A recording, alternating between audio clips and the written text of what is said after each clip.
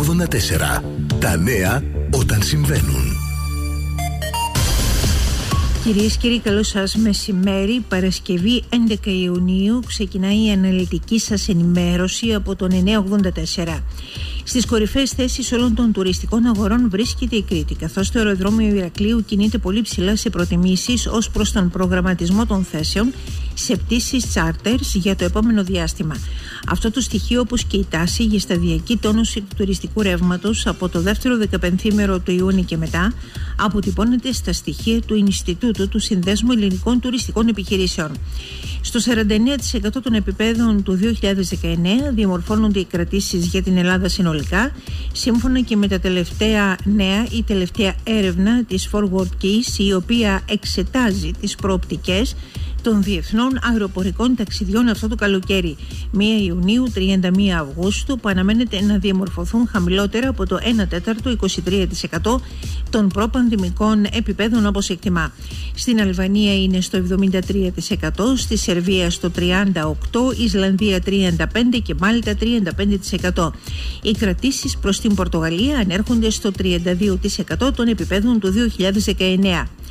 Επικίνδυνη είναι η μετάφραση των αριθμών την τρέχουσα περίοδο γιατί έχουμε καθημερινά πολλούς αστάθμιτους υγειονομικούς παράγοντες λέει στον 984 ο επιχειρηματίας Μιχάλης Βεμιδάκης. Μιλάει για την ευνοϊκή εικόνα δυναμική που παρουσιάζουν αυτή την ώρα η Κρήτη και η Ρόδος όπως και την αρνητική που συγκεντρώνει συνολικά η χώρα αναφορικά με την υγειονομική της πορεία τα εμπορικά παιχνίδια που βρίσκονται σε εξέλιξη εντός και εκτός Ελλάδας και τις προσπάθειες που πρέπει να κάνουν άπαντες φέτος για να μην χαθεί και η φετινή περίοδος.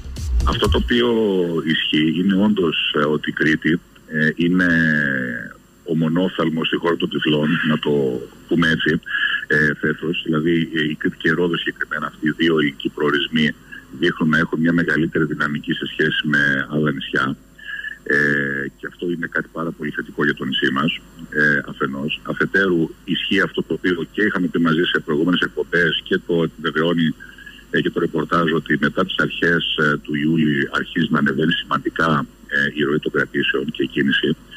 Απλά φέτος ε, η όποια πρόβλεψη είναι πάρα πολύ επικίνδυνη διότι υπάρχουν πάρα πολλές στάθμοι παράγοντες η μελέτη αυτή που αναφέρεται προφανώς έχει γίνει με κάποιες προσωμιώσεις, με κάποια μοντέλα που έχουν υπολογίσει.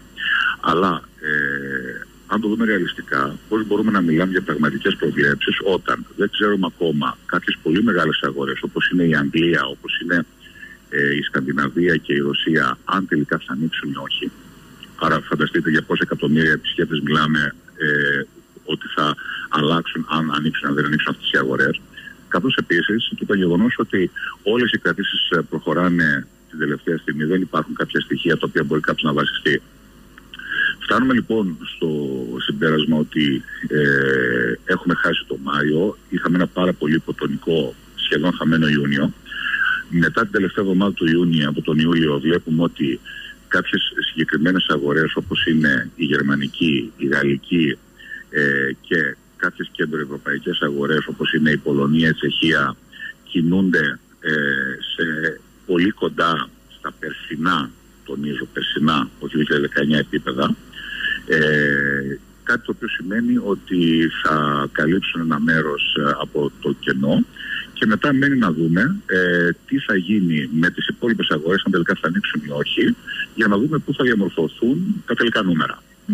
Αυτά είναι τα δεδομένα ε, και δυστυχώς ε, η κατάσταση εξελίσσεται κάθε εβδομάδα και αλλάζει κάθε εβδομάδα. Θα παραθέσω και άλλη μια πραγματικότητα ότι πρέπει και εμείς να κοιτάμε τα του οίκου μας διότι παρά την εσωτερική, τέλος πάντων, την εσωτερική κατανάλωση πληροφόρηση που υπάρχει ότι η Ελλάδα θα πάει περίφημα, η Ελλάδα έχει μια χείριστη υγειονομική εικόνα στο εξωτερικό. Άρα αυτό λειτουργεί αποτρεπτικά. Η Ελλάδα έχει ένα από τα χαμηλότερα ποσοστά εμβολιασμού στην Ευρώπη. Η Ελλάδα έχει ένα από τους μεγαλύτερους αριθμούς ε, θανάτων στην Ευρώπη και γενικότερα η Ελλάδα τρομάζει κάποιες χώρες. Μα τι λέτε, αντίθετα είναι τα μηνύματα που υπάρχουν. Τι είναι αυτά που λέτε; Δεν ξέρω. Ε, και ένα πολύ μεγάλο μέρος του πληθυσμού έχει εμβολιαστεί και απομένουν λίγοι ακόμα, ε, κοντά δύο εκατομμύρια. Και, και, και, δηλαδή όλα αυτά που λέμε, συγγνώμη, όλα αυτά τα οποία λέτε αυτή την ώρα έρχονται και κοντράρονται σε αυτά τα οποία εμείς τουλάχιστον ακούμε από υπεύθυνα χείλη ενώ υπουργών, στελεχών, ότι Υπουργείο Τουρισμού κλπ. Ότι παρουσιάζουμε Υπουργείο Υγείας, ότι παρουσιάζουμε την καλύτερη δυνατή εικόνα. Ε, κυρία Δουλειάκη, εσείς τι πιστεύετε ότι ο υπολογιστικός ταξιδιώτης θα ακούσει τι θα πει το Υπουργείο σε μια πολιτικού τύπου δήλωση ή θα δει κάτι στατιστικά συγκριτικά με άλλους προορισμούς; Καλός ή κακός, η Ελλάδα αυτή τη στιγμή είναι στο 22% του εμβολιασμού, του πληθυσμού. Είναι ένα από τα χαμηλότερα ποσοστά στην Ευρώπη. Αυτό λοιπόν όταν τον βλέπει ο, μια κυβέρνηση, στην καλύτερη περίπτωση το αξιολογείς, στη χειρότερη το χρησιμοποιεί ως αφορμή, να το δεχτώ και αυτό, και το αξιοποιεί μπλοκάροντας τη χώρα. Εσείς λέτε ότι τα μηνύματα που παίρνετε απ' έξω με τους ανθρώπους που συνεργάζεστε είναι ότι δεν έχουμε καλή υγειονομική εικόνα. Αυτό λέτε. Αυτό, ναι, και, και δεν είναι τα μηνύματα, είναι τα στατιστικά που βλέπουν. Δηλαδή, όταν για παράδειγμα ε, αυτή τη στιγμή η Γερμανία, η Αγγλία, οι όλες οι χώρες ε, θεωρούν ότι το αποδεκτό επίπεδο για ένα πράσινο προορισμό είναι 50 κρούσματα ανά εβδομάδα 100.000 κατοίκους. Και αυτή τη στιγμή η Ελλάδα κινείται στο 120, η Κρήτη στο 90, η Κέρκυρα στο 160 και το καθεξής που σημαίνει ότι είμαστε δύο-τρεις φορές πάνω. Είτε η Γερμανία η οποία έχει ανοίξει τη χώρα ο πελάτης όμως ο οποίος θα δει αυτά τα δεδομένα μπορεί να τέλος πάντων ε, ε, να του δημιουργηθούν αδειασμοί, η Αγγλία δεν θα το ανοίξει. Άρα λοιπόν, ε, σίγουρα παίζονται πολιτικά παιχνίδια η δική μας υγειονομική εικόνα, η οποία δεν είναι η καλύτερη, και το λέω ξεκάθαρα με κάθε ευθύνη, είτε τέλος πάντων ε, λέμε για εσωτερική κατανάλωσης ανακοινώσεις και άλλο, δίνουμε συγχαρητήρια. Ε, αυτό είναι ένας πάρα πολύ σημαντικός λόγος, ο οποίος και προβληματίζει το κόσμο στο εξωτερικό, αφενός και αφετέρου δίνει και το πάτημα το πώς διαφορετικά σε κάποιες κυβερνήσεις να μας μπλοκάρουν. Εν τω μεταξύ, περιθώριο μέχρι 17 Ιουνίου έχουν όλοι όσοι επιθυμούν να κάνουν αίτηση για το πρόγραμμα κοινωνικού τουρισμού 2021-2022 του ΑΕΔ αφού άνοιξε η πλατφόρμα το μεσημέρι της Πέμπτης. Υπενθυμίζεται ότι επιδοτούνται και φέτος τα ακτοπλοϊκά εισιτήρια, ενώ για πρώτη φορά η επιδότηση των τουριστικών κατελημάτων ενισχύεται κατά 20% τον Αύγουστο, ώστε να υπάρξει ακόμα μεγαλύτερη στήριξη των επιχειρήσεων και αυξημένη διαθεσιμότητα δωματίων κατά την αιχμή της περίοδου των διακοπών. Οι διακοπές με το πρόγραμμα επιδότησης μπορούν να πραγματοποιηθούν από 1 Αυγούστου 2021 μέχρι 31 Ιουλίου 2022 σε τουριστικά καταλήμματα του Μητρώου Παρόχων του ΑΕΔ. Η μέγιστη διάρκεια διανυκτερεύσεων είναι 6 βράδια με μικρή ιδιωτική συμμετοχή ενός ΕΚΟ, Λέρο Λέσβο, Σάμο Χίου και στο νομό Εύρου η μέγιστη διάρκεια διανυκτερεύσεων είναι 10 βράδια με μηδενική ιδιωτική συμμετοχή. Τη Μεσαρά επισκέπτεται σήμερα η Υπουργός Πολιτισμού Ελίνα Μενδώνη, η οποία από χθες βρίσκεται στην Κρήτη και συγκεκριμένα στο Ηράκλειο, όπου συναντήθηκε με τον Περιφερειάρχη Κρήτης, ενώ προηγήθηκε αυτοψία στο έργο του νέου αεροδρομίου Καστελίου, συναντώντας και τον Δήμαρχο Μινώα Παιδιάδος για τη συμβολή του Υπουργείου Πολιτισμού στην ανάδειξη των μινοϊκών ανακτόρων με δύο έργα που θα ξεκινήσουν το 2022 στη Φεστό και στα Μαλιά έκανε λόγο χθες από το Ηράκλειο. Τα μινοϊκά ανάκτορα, πέρα από την ιδιαιτερότητα που έχουν και προσδίδουν μια μοναδικότητα πολιτιστικής φυσιογνωμίας στην Κρήτη, μπορούν να αποτελέσουν μια εξαιρετικά σημαντική πολιτιστική διαδρομή με την έννοια της αναπτυξιακής λογικής που αποκτά μια πολιτιστική διαδρομή όπου εμπλέκονται ο δημόσιος και ο ιδιωτικός φορέας, οι υπηρεσίες του Υπουργείου, η άλλη πολιτιστική κληρονομιά, ακόμα και οι επιχειρήσεις τουρισμού και γαστρονομίας, όπως ανέφερε μεταξύ άλλων η υπουργός. Στα Χανιά βρίσκεται και η Υφυπουργός Υγείας Ζωή Ράπτη, που στο νοσοκομείο Άγιος Γεώργιος των Χανίων ενημερώθηκε λεπτομερώς για τη μελέτη του έργου της πτέρυγας της ψυχιατρικής κλινικής. Συνομίλησε με τον Μητροπολίτη Κιδωνίας και Αποκορώνου Δαμασκηνό ως πρόεδρο της Επιτροπής του Κληροδοτήματος Μαλινάκη για την ανέγερση της πτέρυγας, ο οποίος τόνισε ότι στόχος είναι να μην χαθεί ούτε σέντς από το κληροδότημα. Για ένα μεγάλο βαθμό στην αναβάθμιση των δομών ψυχικής υγείας στα Χανιά μίλησε η Υφυπουργός. 781 χθες τα κρούσματα στη χώρα μας κορονοϊό, από τα οποία τα 21 στην Κρήτη, 11 στο Ηράκλειο, 13 στα Χανιά και 5 στο Ρέθυμνο. Διαθέσιμα από χθες και όλα τα εμβόλια για την ηλικιακή ομάδα 25 έως 29 ετών. Χθες κλείστηκαν 107.000 ραντεβού. 70.000 από εκείνους για τους οποίους άνοιγε αμυγό η πλατφόρμα, η ηλικιακή δηλαδή ομάδα 25-29 και 37.000 πολίτες από άλλες ηλικιακές κατηγορίες.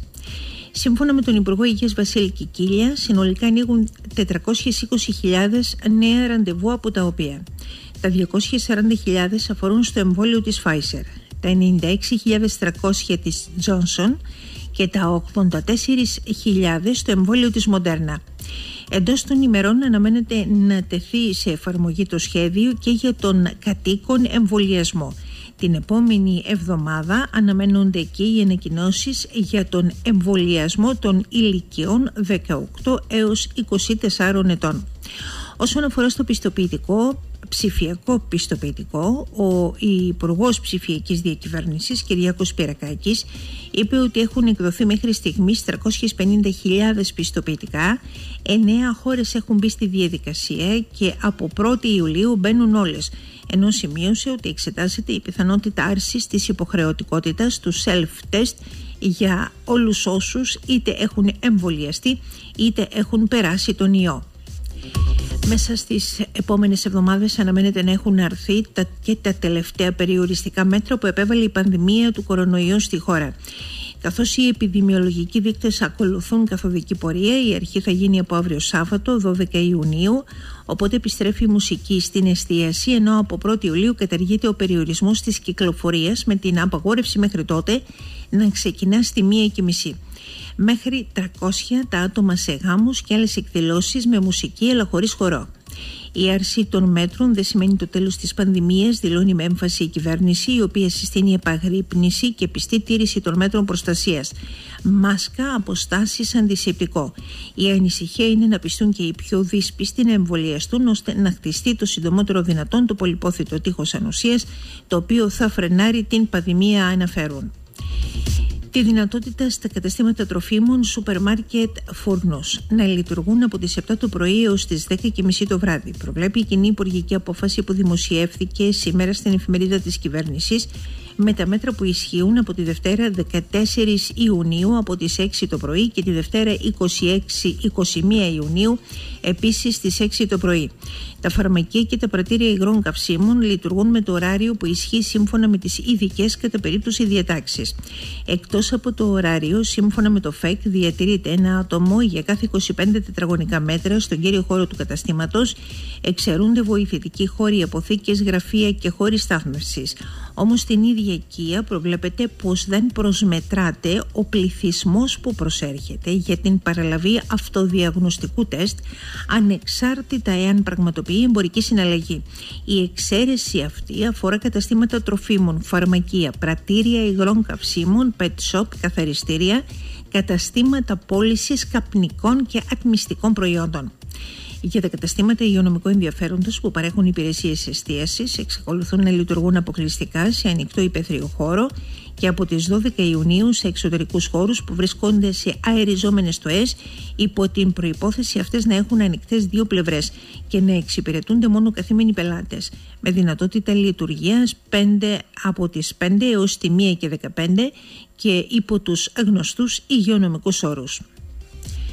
Τον ασκό του αιώλου έχουν ανοίξει δασικοί χάρτες, ενώ ανησυχία προκαλεί καθυστέρηση των ενεργειών του Υπουργείου Περιβάλλοντος για την νομοθετική πράξη που θα διασφαλίζει τα ιδιοκτησιακά δικαιώματα των πολιτών.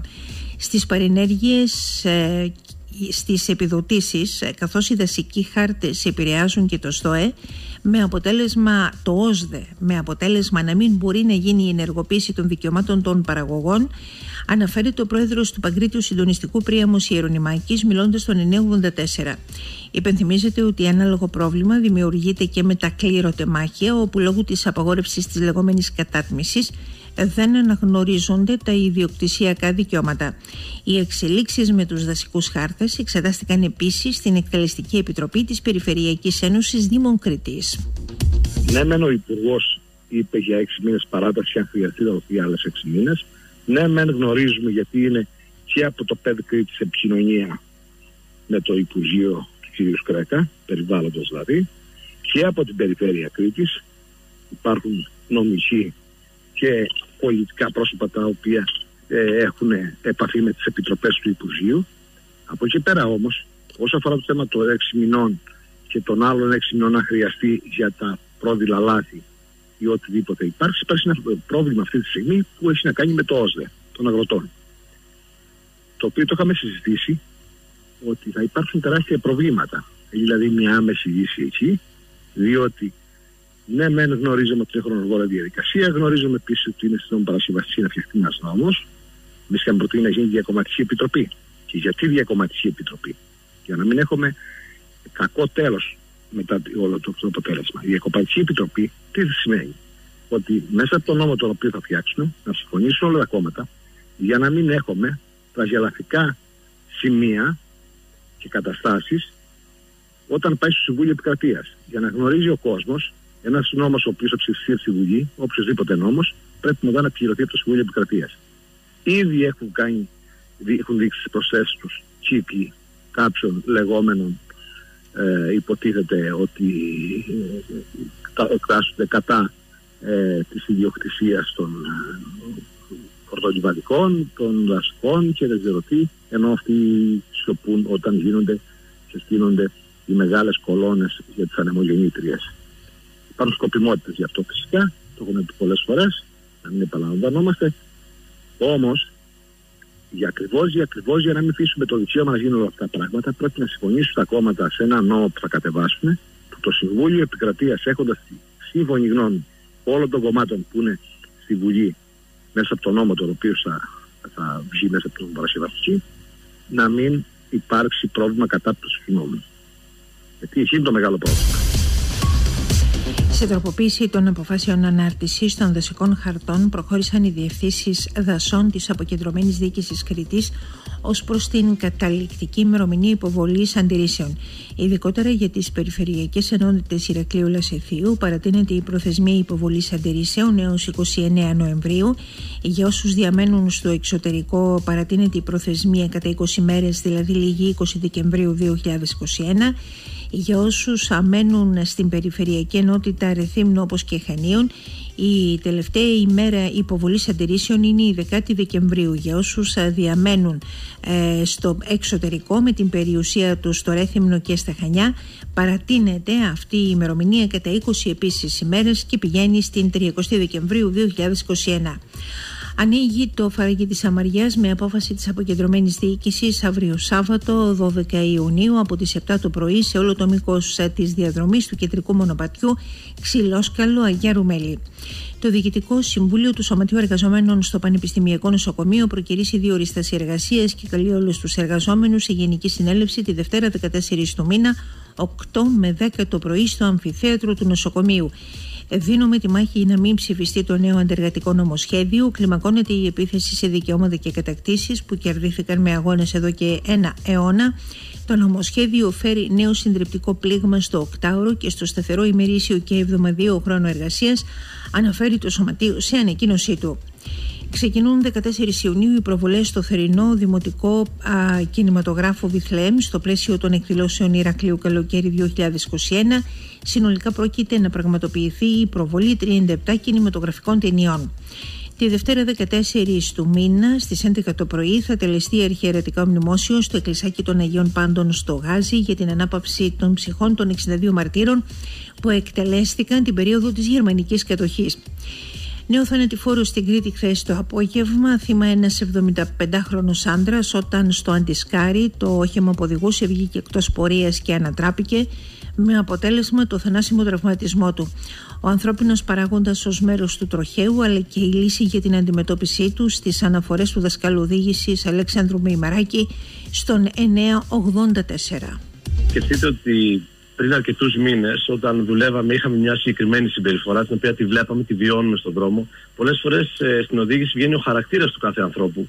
Ε, έχουμε κατηγορήσει τις υποδομές, έχουμε κατηγορήσει την κουλτούρα που ενδεχομένως δεν έχουμε σε πολλά πράγματα. Αλλά πιστεύω ότι όλα αυτά είναι ένας συνδυασμός. Είτε από κομμάτι υποδομών, όπου η πολιτεία οφείλει να κάνει κάποια πράγματα για να έχει δρόμους οι οποίοι πραγματικά θα είναι ασφαλείς, είτε από τη μεριά των πολιτών, οδηγών πολιτών, οι οποίοι θα πρέπει να έχουν το μυαλό μες στο κεφάλι τους. Αυτό το περιστατικό που περιγράφεται σήμερα το πρωί θα μπορούσε κάλλιστα να αποβεί μοιραίο όχι μόνο για το συγκεκριμένο οδηγό, ε, αλλά και για άλλους, οι οποίοι δεν φταίνουν ε, κατά την προσωπική μου άποψη και μετά από τόσα χρόνια στην εκπαίδευση και βλέποντας καθημερινά τέτοιου είδους συμπεριφορέ, ένα μεγάλο, μεγάλο, μεγάλο θέμα ξεκινάει από εμάς. θεωρούμε ότι όπως έχουμε πει πολλές φορές ότι δεν πιστεύουμε ότι θα εμπλακούμε εμείς σε κάποιο τριγείο ατύχημα σίγουρα αφορά όλους τους άλλους εκτός από εμάς. Και εκεί λοιπόν γίνεται η βλακεία. Και η βλακεία, επιτρέψτε μου, η οποία πολλές φορές έχει ως συνέπεια τη ζωή. Και όχι ίσως τη δικιά μας μόνο, αλλά και κάποιον άλλο ανθρώπο που δεν φταίνε. Οπότε σε, σε βάση αυτά που συζητάμε κάθε φορά, όπως και το νέο νομοσχέδιο το οποίο έρχεται, που θα αλλάξει όλα άρδινα από την αρχή μέχρι το Α μέχρι το Ω, και βλέπετε ότι τελικά δεν επενδύουμε σωστά σε αυτό το κομμάτι. Πρέπει να επενδύσουμε εντελώς διαφορετικά και να αποκτήσουμε αυτή την κουλτούρα που λέμε ότι δεν έχουμε. Όσο πιο γρήγορα αντιληφθούμε ότι είμαστε μέρος του προβλήματος, αλλά μέρος και της λύσης ταυτόχρονα, πιστέψτε με, θα αλλάξουν πολλά πράγματα. Έχει, έχει καθαρά με τον κάθε άνθρωπο την ώρα που κάθεται στο τιμόνι. Σκεφτείτε πόσες φορές ε, είστε ενδεχομένως και εσείς προσωπικά ή οποιοδήποτε μας ακούει αυτή τη στιγμή είναι νευριασμένος ή κάτι δεν του έχει πάει καλά και παίρνει το αυτοκίνητο και φεύγει και ξεσπάει και κάνει μια βόλτα. Θα οδηγήσει το ίδιο. Μα, όλοι, μα όλοι το κάνουμε αυτό. Λάθη κάνουμε όλοι μας. Εγώ δεν ξέρω ούτε τον εαυτό μου πάνω από αυτή την δραστηριότητα, αυτή την τακτική όταν είμαι θυμωμένη, όταν έχω νεύρα, όταν είμαι κουρασμένη κλπ. Αλλά να μην είμαι επικίνδυνη για τους άλλους, σκέφτομαι. Μα ως Αυτό, αυτό είναι το πράγμα. Ότι σε, στην περίπτωση που είστε ήρεμοι, ωραία και καλά, ξεκινάτε να πάρετε τη δουλειά σας ήρεμα, χαλαρά, θα κάνετε μια αλφα οδήγηση. Όταν μπείτε μετά από πολύ στρες και πολύ πίεση, γιατί κάτι έχει συμβεί ας πούμε, στο προσωπικό σας κομμάτι και είστε ε, εντελώς διαφορετικοί στην οδήγησή σας, αυτό βγαίνει και στον δρόμο. Θα βγει επιθετικότητα, θα βγει κακή συμπεριφορά στον άλλο, θα βγει ε, κακή προσπέραση κάποια στιγμή που θα έχετε αγανακτήσει γιατί βιάζεστε, γιατί, γιατί πιέζεστε. Σίγουρα λοιπόν είναι πάρα πάρα πολλά πράγματα που μετράνε το πώς θα οδηγήσει ένας άνθρωπος. Στον ανακριτή Χανίων οδηγείται τη Δευτέρα ο 35χρονος από την περιοχή Κισάμου, ο οποίος συνελήφθη από τις αρχές κατηγορούμενος για βιασμό και άλλες αξιόπινες πράξεις. Σε βάρος του είχε σχηματιστεί δικογραφία πριν από τρεις εβδομάδες και βρίσκεται αντιμέτωπος με επτά δικήματα όπως το βιασμό κατά εξακολούθηση, την παραγωγή και κατοχή υλικού παιδικής πορνογραφίας, την προσέλκυση παιδιών για γενετήσιους λόγους, κατά συρροή, την προσβολή γενετήσιας αξιοπρέπειας κατά εξακολούθηση. Επίσης, στη δικογραφία αναφέρονται παραβάσεις των νόμων περί όπλων και περί ναρκωτικών, αλλά και απειλή για απόπειρα παράνομης βίας κατά εξακολούθηση με μεταφορική εταιρεία έκαναν διακίνηση ναρκωτικών τέσσερις άνδρες που συνελήφθησαν σε Ρέθυμνο και Ηράκλειο. Άνδρες στο Ρέθυμνο παρέλαβαν δέμα από μεταφορική που έκρυβε 208 γραμμαρία ηρωίνης, όπως επίσης και 500 ml μεθαδόνης. Συνελήφθησαν στον Νίκος Καζετσάκης, δύο Έλληνες και ένας αλλοδαπός για διευκόλυνση εξόδου από τη χώρα σε αλλοδαπή με πλαστά πιστοποιητικά.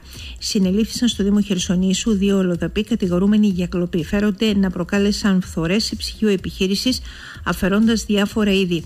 Συνελήφθη μία Ελληνίδα στο Ηράκλειο η οποία φέρεται να αφαίρεσε από επιχείρηση είδη ένβησης. Η προανάκριση διενεργείται από την Υποδιεύθυνση Ασφαλείας Ηρακλείου. Συνάντηση σήμερα του Νίκο Δένδια με τον Υπουργό Εξωτερικών της Κυπριακής Δημοκρατίας στο πλαίσιο της τακτικής ανταλλαγής απόψεων και του συντονισμού μεταξύ των δύο πλευρών. Η συζήτηση κινήθηκε στις πρόσφατες διεθνείς και περιφερειακές εξελίξεις και στις σχέσεις με την Τουρκία εν ώψη και του α, προσεχού Συμβουλίου Εξωτερικών Υποθέσεων, το οποίο α, αναμένεται να προετοιμάσει τη συζήτηση στο Ευρωπαϊκό Συμβούλιο. Επίσης, οι εξελίξεις στο Κυπριακό. Τη Δευτέρα αναμένεται η συνάντηση του Έλληνα Πρωθυπουργού με τον Τούρκο Πρόεδρο Ρετζέπτα Γιπαρντογάν στο περιθώριο της Συνόδου Κορυφής για υποσχόμενες συμφιλιωτικές κινήσεις στην κατεύθυνση της αποκλιμάκωσης των εντάσεων μεταξύ Ελλάδας και Τουρκίας. Το τελευταίο διάστημα κάνει λόγο η τουρκική φιλοκυβερνητική εφημερίδα Σαμπάχ. Είμαστε υπέρ του διαλόγου με την Τουρκία. Το ότι διαφωνούμε δεν σημαίνει ότι δεν συζητάμε, δήλωσε σήμερα η κυβερνητική εκπρόσωπος, κυρία Πελώνη, αναφορικά με τη συνάντηση της Δευτέρας. Προσμένουμε σε ένα ήρεμο καλοκαίρι. Η ένταση δεν είναι προς το συμφέρον κανενός, πρόσθεσε.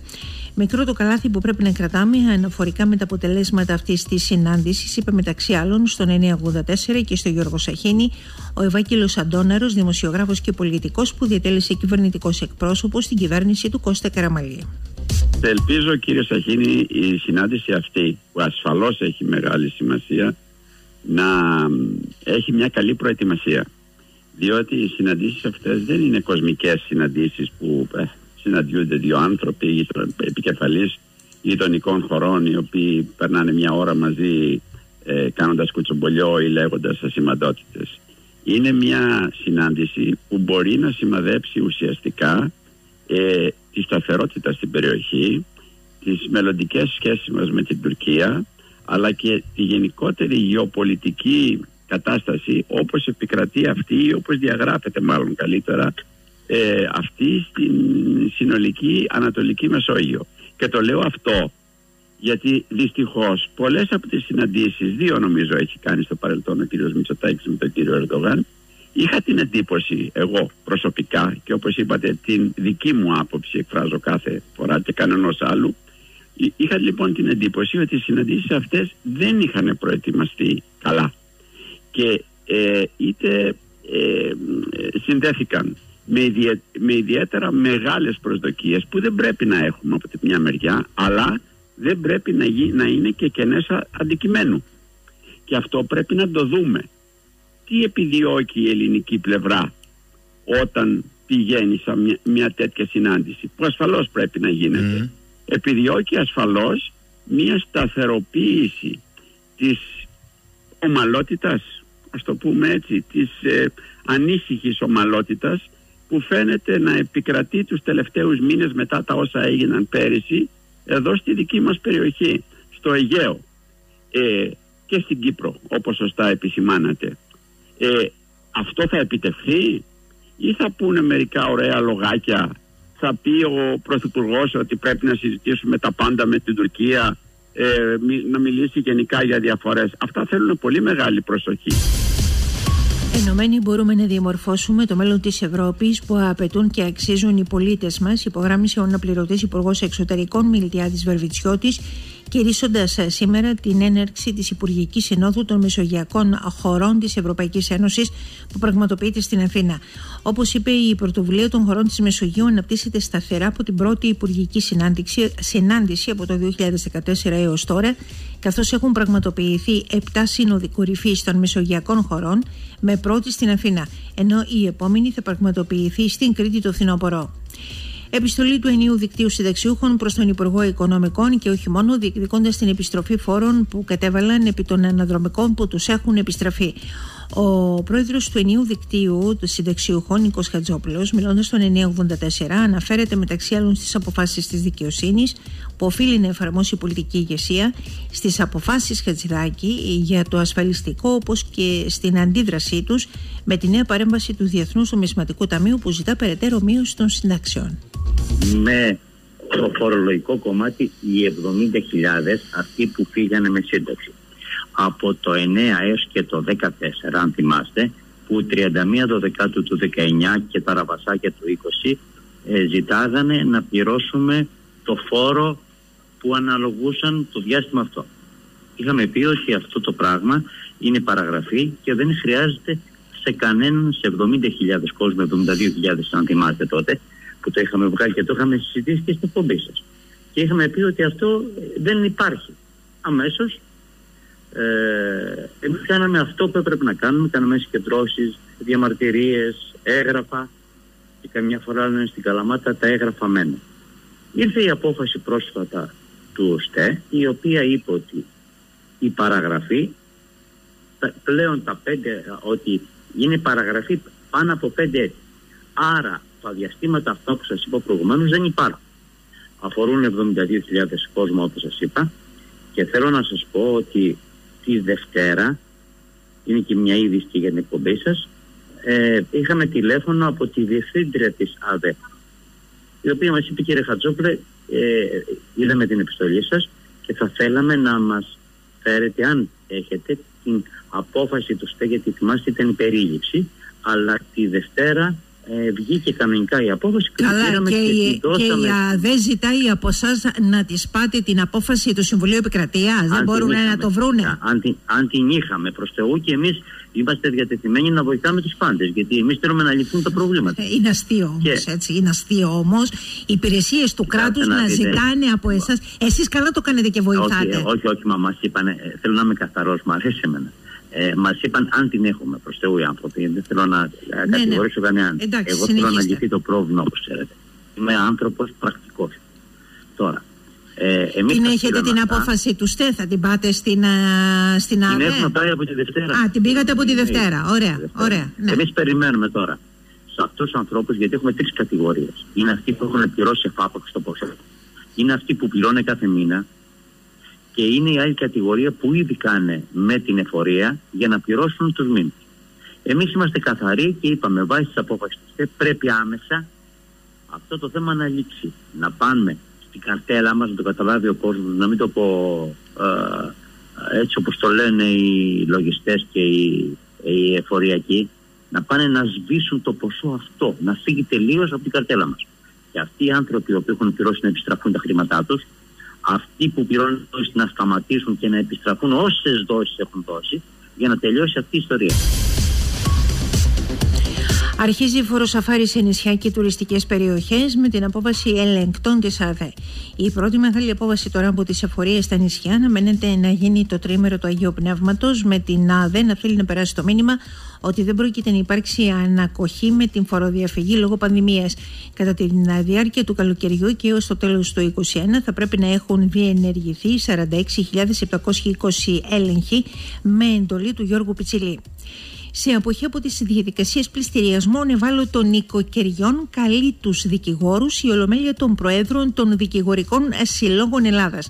Είναι μια είδηση την οποία διάβαζα σήμερα το πρωί και ρωτώ ευθύς αμέσως τον πρόεδρο του Δικηγορικού Συλλόγου Ηρακλείου, τον κύριο Άρη Ροζάκη. Τον καλωσορίζω στο πλαίσιο του δελτίου.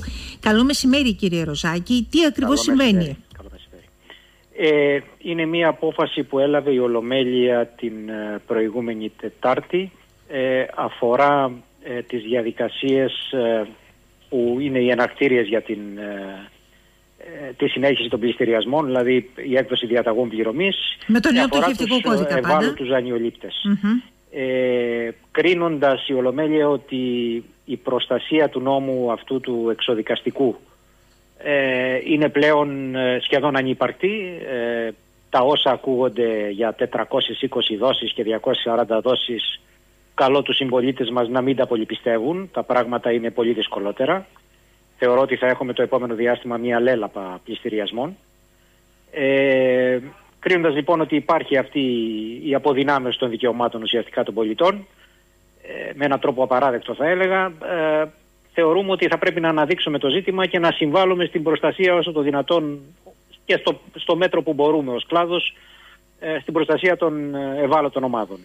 Σε αυτό λοιπόν το πλαίσιο καλεί τα διοικητικά συμβούλια όλων των δικηγορικών συλλόγων της χώρας, γιατί αυτά είναι αρμόδια να πάρουν τη σχετική απόφαση, να λάβουν αποφάσεις περί αποχής των συναδέρφων από την έκδοση διαταγών πληρωμής σε αυτές ακριβώς τις περιπτώσεις. Πόσο εύκολο είναι να διακρίνει τον ευάλωτο τον δανειολήπτη από τον στρατηγικό κακοπληρωτή. Ε, θεωρώ ότι υπάρχουν δυνατότητες κανείς να το διακρίνει, αρκεί να, αρκεί να το θέλει. Ε, δυστυχώς με αυτά που προωθούνται με την νομοθεσία όπως πλέον έχει διαμορφωθεί, πολύ φοβάμαι ότι ε, οι στρατηγοί κακοπληρωτές θα εξακολουθούν να, να είναι στρατηγοί κακοπληρωτές. Σε αντίθεση με τους ε, πραγματικά ευάλωτους που ουσιαστικά χάνουν κάθε προστασία. Μου... Δυστυχώς από την ε, νομοθέτηση του περίφημου νόμου Κατσέλη και μετά, όλες οι νομοθετικές ε, παρεμβάσεις που έχουν γίνει ανεξαρτήτως κυβερνήσεων ε, είναι προς την αποδυνάμωση των, των ευάλωτων ε, δανειοληπτών με έναν τρόπο, επαναλαμβάνω, απαράδεκτο. Μάλιστα. Εσείς από τη δική σας την πλευρά και ως Δικηγορικός Σύλλογος Ηρακλείου θα συνεδριάσετε τις επόμενες ημέρες να πάρετε την απόφασή σας. Ωστόσο, ε, κύριε Ροζάκη, όταν εσείς λέτε ότι μην πολύ πιστεύετε τα περί των δόσεων 240-320 πόσες θα είναι αυτές οι δόσεις, νομίζω ότι κάπου στηρίζεστε για να μπορείτε να το πείτε δημόσια; Ναι, είναι τέτοιες οι προβλέψεις του νόμου που ουσιαστικά θα έλεγα ότι αποτελεί μία παγίδα και αποσκοπεί στο να ε, προσφύγουν οι δανειολήπτες με αυτήν την ελπίδα ότι θα μπουν σε αυτές τις ευνοϊκές ρυθμίσεις στο σχετικό νόμο, στη σχετική πλατφόρμα, ουσιαστικά α, καταργώντας το, το φορολογικό τους απόρριτο κάθε είδους, εν πάση περιπτώσει, έννοιας προσωπικού δεδομένου, ε, να ουσιαστικά δηλαδή να δώσουν πιάτο, θα έλεγα, επιτρέψτε μου την έκφραση, την, την περιουσία τους ε, στους δανειολήπτες ο νόμος δεν πρόκειται να εφαρμοστεί διότι οι απαιτήσεις είναι τέτοιες που ουσιαστικά είναι στο έλεος των, των διαφόρων φαντ και των τραπεζικών ιδρυμάτων ε, οι οποίες πολύ ευσχήμως θα απορρίπτουν την όποια δυνατότητα εξώδικαστικού συμβιβασμού και απλά θα έχουν πλέον τη δυνατότητα να μπουν και να ε, επιβάλλουν κατασχέσεις στα, στα ακίνητα των, ε, των δανειοληπτών χωρίς να έχουν προβλήματα έρευνας, να ψάξουν, να βρουν κτλ. Αυτό, αυτό είναι ουσιαστικά ο νόμος, λυπάμαι που το λέω, αλλά αυτή είναι πραγματικότητα. Τι θα συμβουλεύατε δανειολήπτη που αυτή την ώρα κινδυνεύει κύριε Ροζάκη με βάση όλα αυτά τα οποία αναφέρετε; Καταρχάς, επειδή κάθε περίπτωση έχει τις ιδιαιτερότητές της, θα συμβούλευα να προσφύγουν στους αρμόδιους που είναι οι συνάδελφοί μου, ε, φυσικά και οι οικονομολόγοι έχουν ένα λόγο, ε, αλλά εν πάση περιπτώσει θα έλεγα να μην ε, κάνουν σπασμωδικές κινήσεις.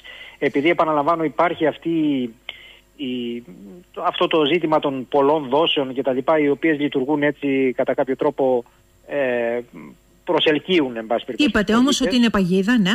Ναι, ε, θα έλεγα μη σπεύσουν να μπουν σε τέτοιες διαδικασίες. Εξάλλου επίσης απαραδέκτος, παρά το γεγονός ότι προβλέπεται μία ε, δημιουργία ενός φορέα ε, διαχείρισης ιδιωτικού χρέους που αποσκο, αποσκοπεί στην, ε, στη συγκέντρωση ακινήτων προκειμένου να καθορίσουν κάποια μισθώματα για τους δανειολήπτες και στο τέλος της όποιας συμφωνίας θα υπάρχει δυνατότητα επαναγοράς από τους δανειολήπτε. Αυτά τα πράγματα δεν έχουν ακόμα συσταθεί. Παρά το γεγονός ότι προβλέπονται από το Με αυτό το φορέα πάμε κοντά στο 2000, μέσα στο 2022, αλλά άγνωστο πότε. Δηλαδή, αν θα είναι πρώτο εξάμεινο, δεύτερο εξάμεινο, πρώτο τετράμινο, τρίτο τετράμινο, είναι κάτι που δεν έχει διευκρινιστεί.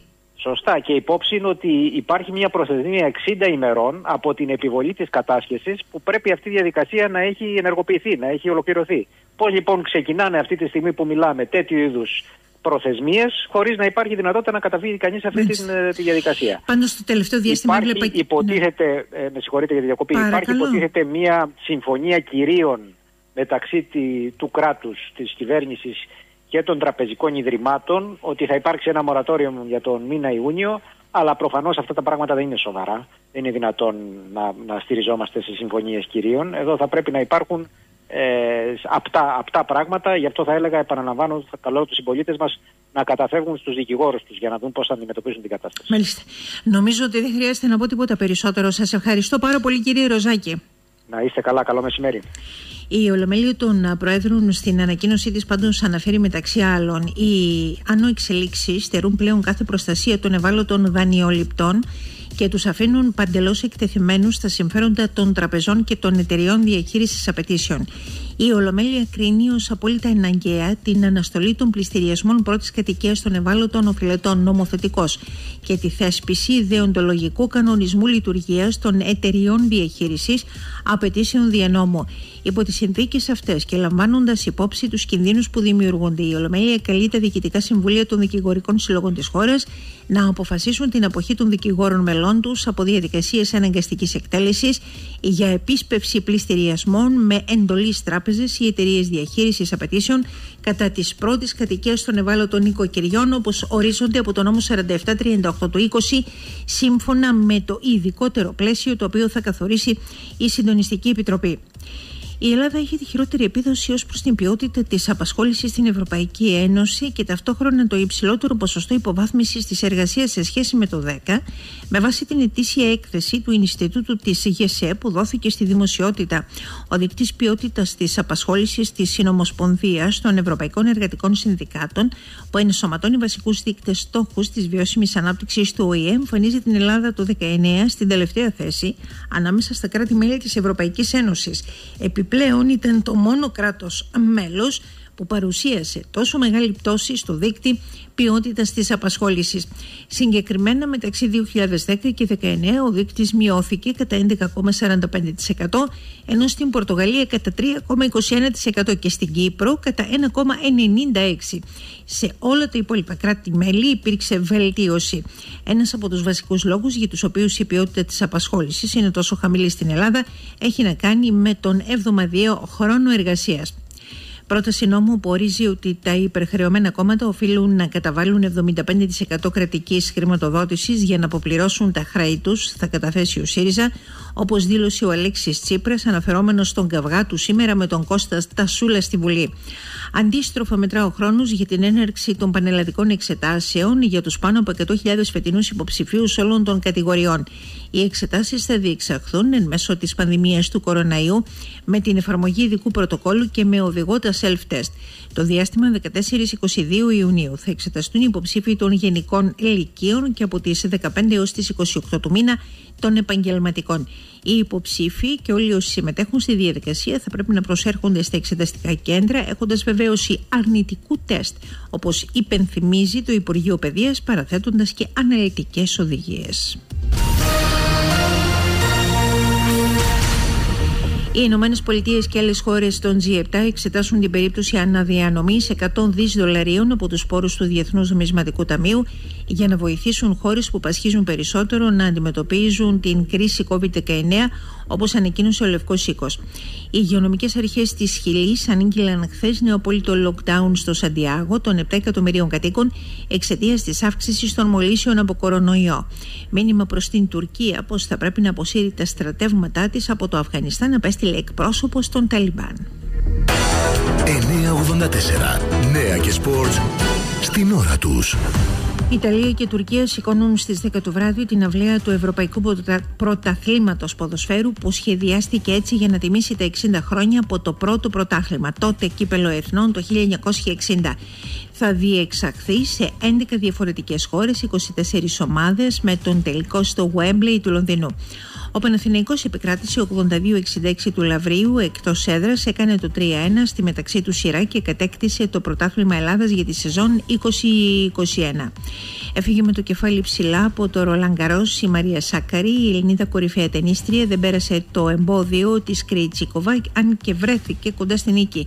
Ιτήθηκε 2-1 σετ σε ένα συγκλονιστικό παιχνίδι διάρκεια πάνω από τρεις ώρες. Σε λίγη ώρα ο Στέφανος Τσιτσιπάς αντιμετωπίζει τον Αλεξάνδρ Σβέρεφ για τα ημιτελικά του, Λορα, του Ρολάν με το Γερμανό να βρίσκεται στο νούμερο 6 του κόσμου. 984. Ο καιρός. Άστατο σήμερα ο καιρός στην Κρήτη, ανέμει από βορειοδυτικές διευθύνσεις στα 3 με 5 μποφόρ, θερμοκρασία στους 29 βαθμούς Κελσίου.